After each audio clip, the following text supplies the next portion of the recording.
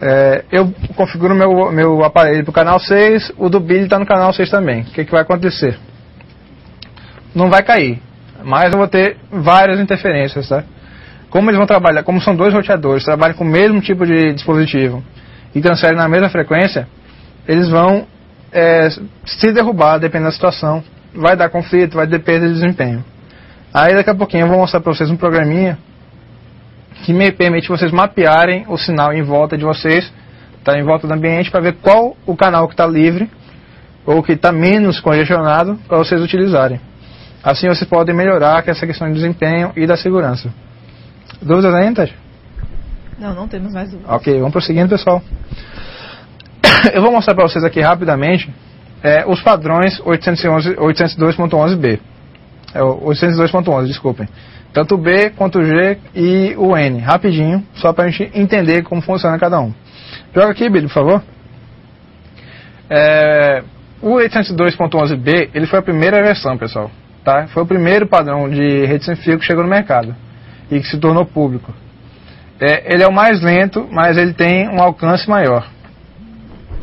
É, ele permite que você, como eu falei, que vocês alcancem maiores distâncias sem maiores alterações na rede. É, ele é o menos comum, tá? À medida que ele é o menos comum com, é, por ter. Peraí que alterar meu slide aqui, pessoal.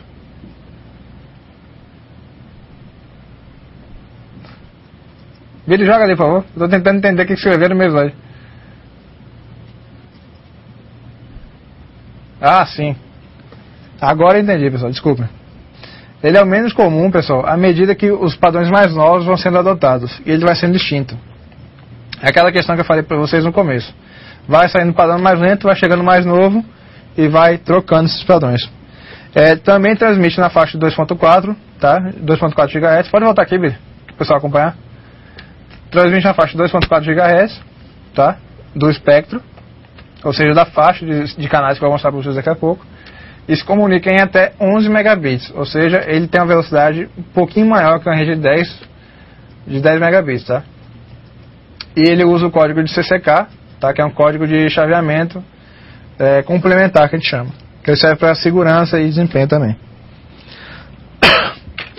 Em seguida, a gente tem o padrão 802.11, ele também transmite em 2.4 GHz, ele é mais rápido que o 802.11b, que ele transmite a 54 megabits por segundo, tá?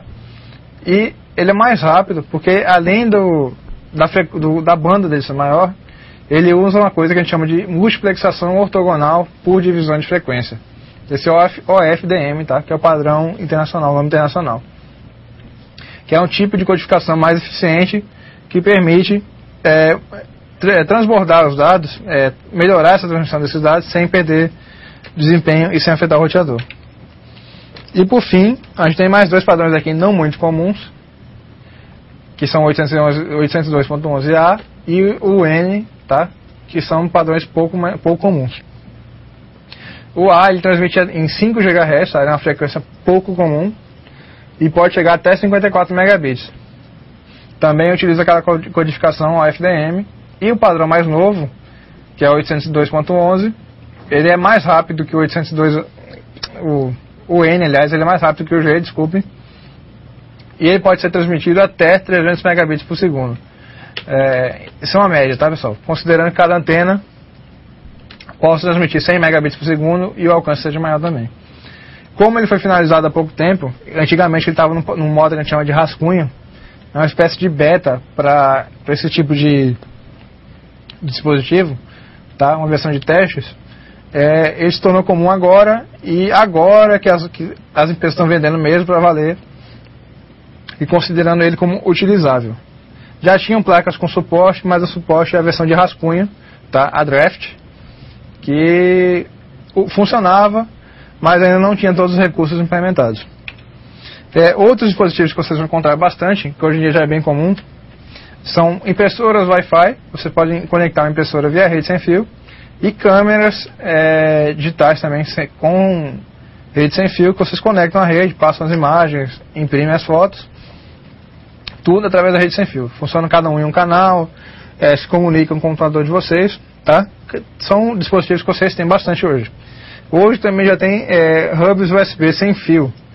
Hubs é USB, o hub USB é aquele dispositivo que você conecta numa porta USB e ele te dá quatro portas livres, por exemplo, quatro, oito portas. Já tem dispositivos desse tipo, é, sem fio também, via wireless, tá? É, Bluetooth é um exemplo de, de wireless, tá? Ele funciona também como rede sem fio. Você pode fazer uma rede entre o seu computador e o telefone através de Bluetooth, pode conectar computador com computador através de Bluetooth. Tudo vai depender apenas de vocês, desculpem, e da capacidade do computador. É, opções de segurança, como eu falei aquela hora, a gente tem duas principais e outras que se baseiam em cima delas, tá? Que são a WEP e a WPA. A WEP ela é a codificação mais fraca que eu falei para vocês. Ela trabalha com 64 e 128 bits. É, 64 é a mais comum e 128 é a mais forte. Só que as duas são facilmente quebráveis. Tá? Elas usam a chave hexadecimal, ou seja, números de 0 a 9 e letras de A a F é, misturadas. E ele é muito utilizado em hotspots, que são aqueles pontos de acesso público, tá? de rede sem fio pública. É, ele é facilmente quebrável, como eu disse, você quebra ele muito rápido quem quiser até demonstra como quebrar uma rede sem fio na, no fórum. E ele não é muito recomendado de se utilizar, tá? É, é bem recomendado que vocês passem bem longe dele. É, em seguida a gente tem a evolução do WPA, do WP, desculpem, que é o WPA, que trabalha com a criptografia mais forte. Ele não usa uma chave hexadecimal, vocês podem utilizar também, mas ele não usa por padrão. É, vocês mesmos geram a senha, tá? Com a quantidade que vocês quiserem de caracteres, e quanto maior essa for, mais for essa senha, é maior a codificação de segurança da rede de vocês. Então, normalmente quando a gente cria uma senha com WPA, a gente não usa uma, uma palavra ou duas. A gente gera uma frase que seja difícil de, de acessar para poder conectar nessa rede. É, o WPA ele segue o padrão de segurança do, da 802.11i. Não é uma rede, mas é um padrão de segurança, tá pessoal? Diferente das outras. E além do WPA, que eu não coloquei aqui, tem o WPA2, que é uma evolução do WPA. Pode botar aqui, Billy, só o pessoal acompanhar. Valeu. Tem o WPA2, tá? que é a evolução do WPA. E tem variações do WPA, que é o WPA PSK, que você usa uma chave pessoal. E o WPA Enterprise, que utiliza uma, uma chave de segurança, um, um arquivo de criptografia.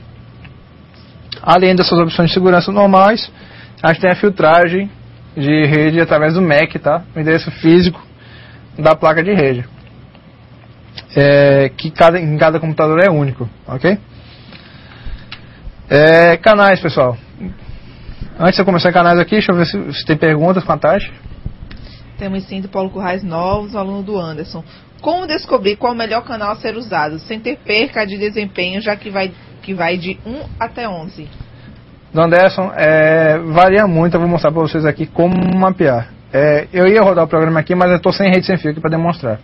Mas tem uma imagem que ele mostra direitinho como que é esse programa, tá? É, outra coisa, os canais eles não vão de 1 até 11. No Brasil é utilizado de 1 a 11, mas vão de 1 a 14 e depois tem uma série de outros canais que são na faixa dos 5 GB. Aí depende do roteador que você vai estar utilizando e do país que você está. Por exemplo, no Japão vai do canal até o 14, tá?